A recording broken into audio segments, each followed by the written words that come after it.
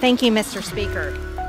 Last Congress, and again on May 17, 2023, I introduced articles of impeachment against Secretary Alejandro Mayorkas.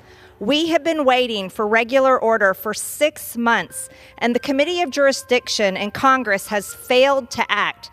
My articles of impeachment sit collecting dust with the others while Americans die every single day. The American people support impeachment. Members of Congress support impeachment.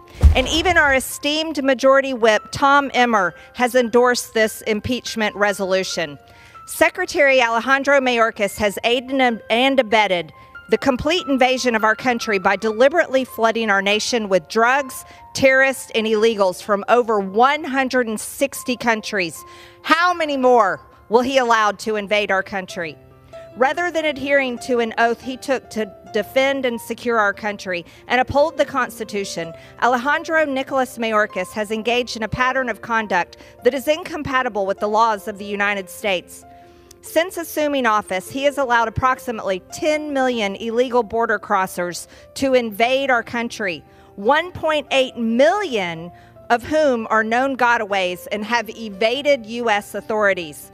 Because of his open border policies, he's allowed more than 280 people on terrorist watch list to be caught while attempting to cross the border between ports of entry, as well as approximately 73,000 special interest aliens who are aliens from a nation that promotes terrorist activity, harbors terrorists, or poses a sec- security threat to the United States.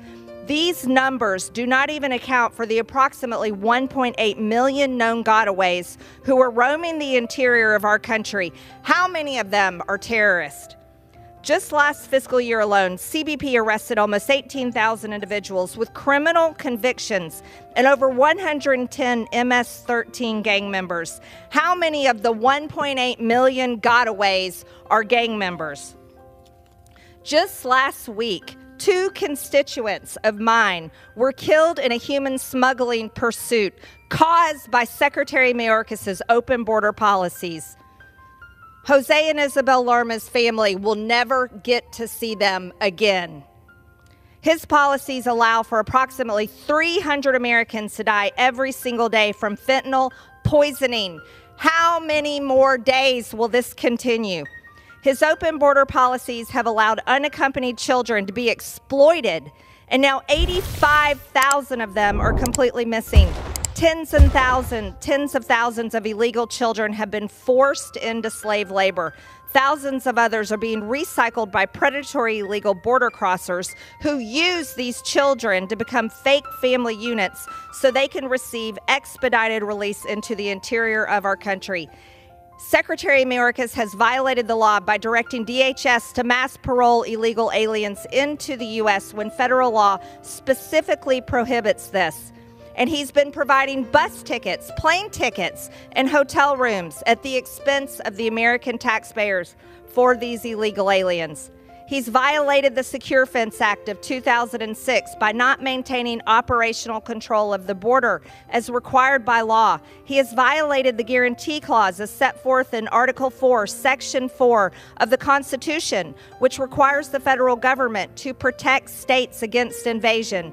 The guarantee clause clearly dictates that the federal government has a constitutional duty and obligation to protect each of the states from invasion.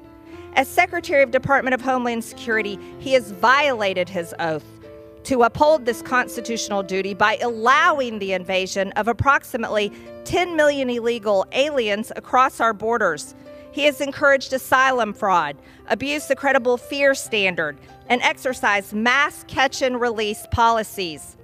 Article 2 of the Constitution requires that the executive branch, which includes the Secretary of Homeland Security, ensure the laws passed by Congress and signed into law by the President are faithfully executed. Alejandro, Alejandro Nicolas Mayorkas, in his inability to enforce the law, has engaged in a pattern of conduct that is incompatible with his duties as a civil officer of the United States.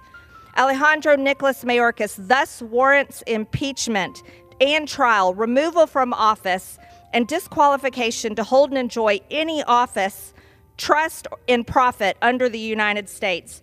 While some of my colleagues have argued that we need to proceed through regular order to pursue impeachment proceedings, the committee in jurisdiction and Congress has failed to act on the overwhelming evidence to impeach Secretary Mayorkas.